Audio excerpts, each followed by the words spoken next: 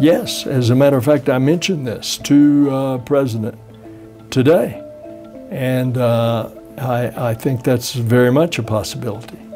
Uh, for example, on the International Space Station right now, we have several international astronauts, in addition to having Russian cosmonauts and American astronauts, that we built the station together and we operate it together.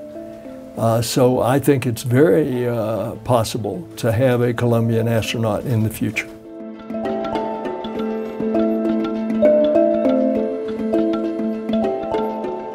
Well, uh, we are certainly uh, very interested in cooperating with uh, Colombian Space Agency if that's what the government of Colombia decides it's going to do. Without a space agency, we already uh, do so many things together. Uh, but for example, you've got a couple of communication satellites. There's going to be need for additional ones in the future. Uh, that's something uh, with collaboration with NASA that we can do.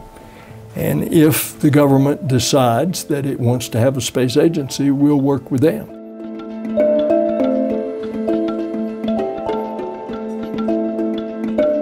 Yes, it was a concern to me when I looked at the Amazon from the window of our spacecraft 37 years ago when I flew in space in January of 1986. And I could see the destruction of the rainforest with the naked eye by seeing the color contrast. And then in the same window, I could look to the east to the mouth of the Amazon and I could see the result of the destruction of the trees upriver because at the mouth of the Amazon, the silt or dirt was discoloring the waters of the Atlantic for hundreds of miles. I became more of an environmentalist when I flew in space and looked at Earth. It's so fragile. It's so beautiful, but it's so fragile.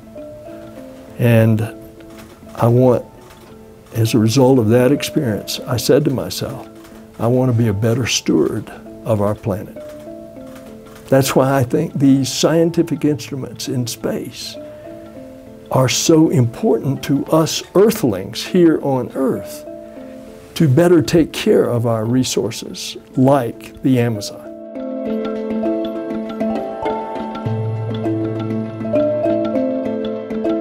Well, uh, I think Artemis 2 will be on time. That will be uh, next year, and it will be late next year.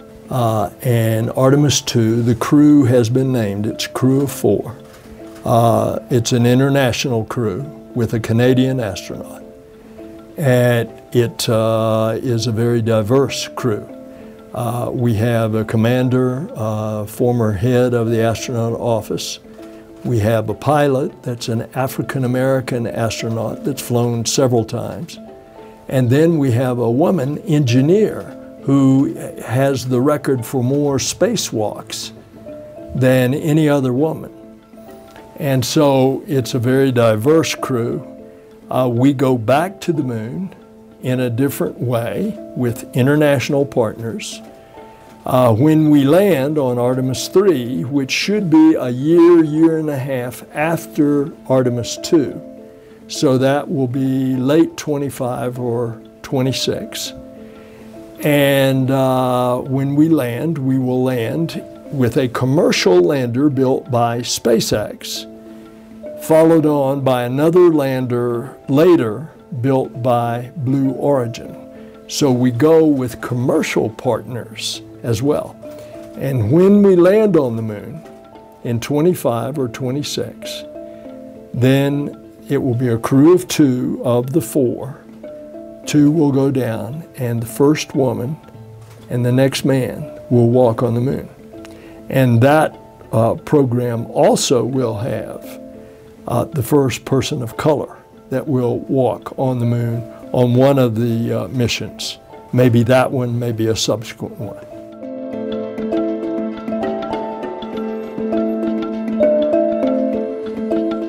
Well, it will be with India. Uh, as a matter of fact, we're going to uh, train an Indian astronaut and fly the Indian astronaut next year. Uh, and uh, so we are uh, in partnership. We've got a major science mission that's going to launch in January that uh, is between the U.S. and India. And it's very important in the observation of Earth for such things as the Amazon. The one country that we have not had cooperation with is China because they are very secretive. They will not tell you anything. I have talked to the uh, Chinese ambassador, who then became the foreign minister, and by the way, he just recently uh, got fired. And uh, I have talked to him about cooperation, but it's, it's nothing.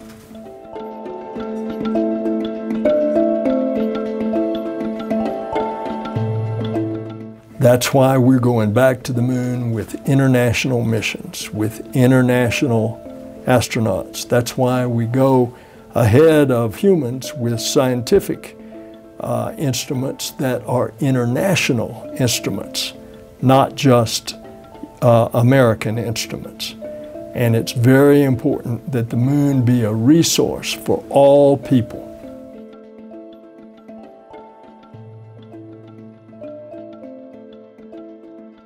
Well, um, I did something about this. Uh, a year ago, I appointed a distinguished panel of scientists uh, to look at the few, it's, it's just a few instances of observations that we don't know what it is, and to report next month.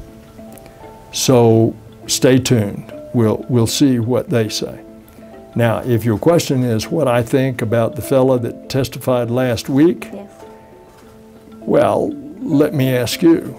Uh, if someone told you that he has a friend that has an alien spacecraft that is large as a football field stored in a warehouse, uh, do you believe that? no, I don't believe that. Uh, or that he has alien parts of aliens, no, I don't believe that.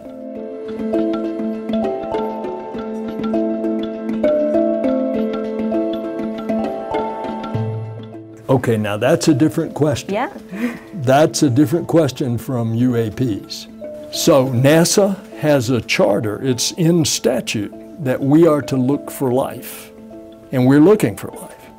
We're digging on Mars right now uh, core samples that are about that big in titanium tubes, and eventually we'll get them and return them to Earth in that dry lake bed to see if there's any evidence of life there.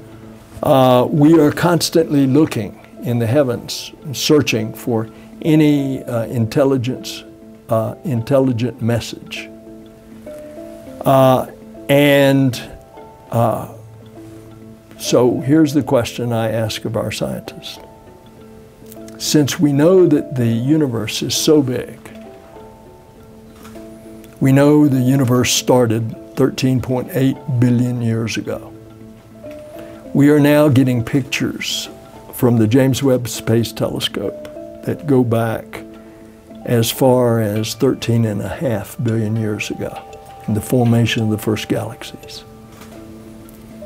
So, think about this. Light travels at the speed of light, 186,000 miles per second. That light that we're capturing now has been traveling for 13 and a half billion years. That's a big space. So, I ask our scientists, what is the mathematical probability in a universe that big? By the way, a universe that's expanding what is the mathematical probability that there's another Earth-like planet?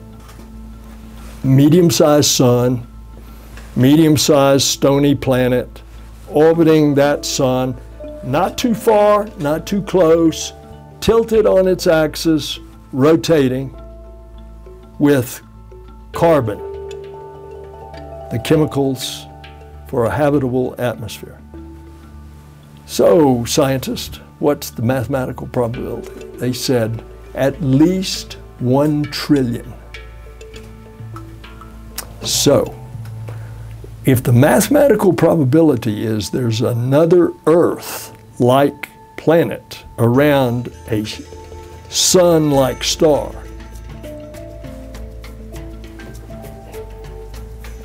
Okay. do, do I think that there's life out there?